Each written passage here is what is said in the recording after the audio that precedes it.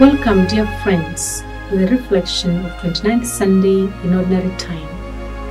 The theme is It is difficult at times to hold on to one's faith.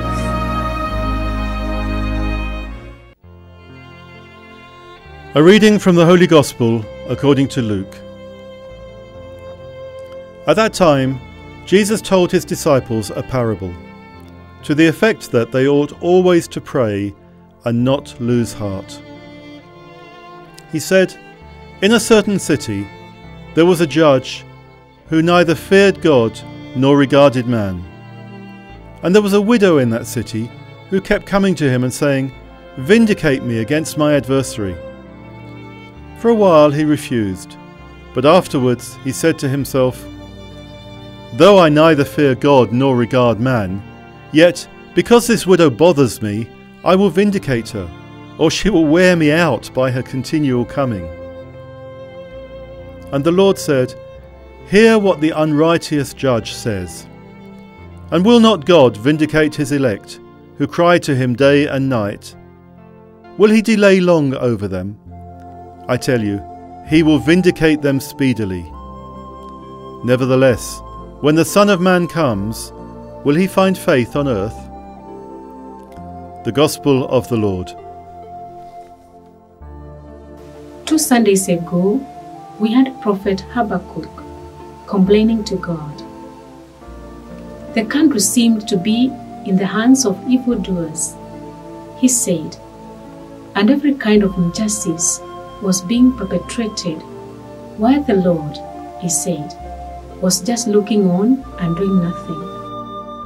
Why doesn't God listen to our prayers and do what we ask?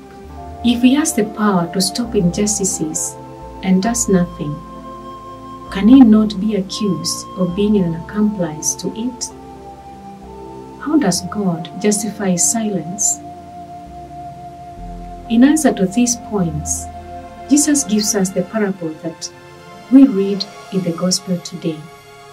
Two thirds of humanity live in misery. Children die from hunger by the thousands every day. Millions of people suffer through no fault of their own. God does not intervene to put things right. How can we square this silence with all the promises He made to His people? We must learn to control our impatience.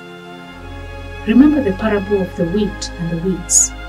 We are like the servants who could not tolerate the evil thriving alongside the good. We always expect immediate action. If there is no immediate improvement, we become discouraged, we lose heart, and think that nothing will ever change. But the world will not change in a matter of days. God is patient and respects the pace at which we change. He listens to our supplications. He is mindful of our cries for help. But He keeps us waiting because He loves all of us and must wait for each of us to open our hearts to Him. Jesus assures us that God will establish His kingdom in this world. When He comes, will He find us ready for Him? Will His delay in coming cause us to lose our faith? The prayer that the Gospel of today speaks of is not merely a boring repetition formula. True prayer consists in keeping up a constant dialogue with the Lord. To pray always means never to take a decision without first consulting Him.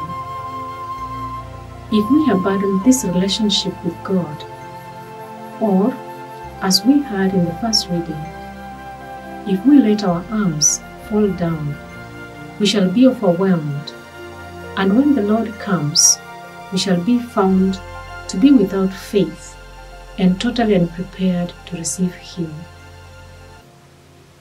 Let us pray. Jesus, Divine Master, patience is the virtue which you desired that we learn and practice. May we allow ourselves and our neighbors to enter into and grow in intimacy with you so that we may patiently work on ourselves with you. Amen.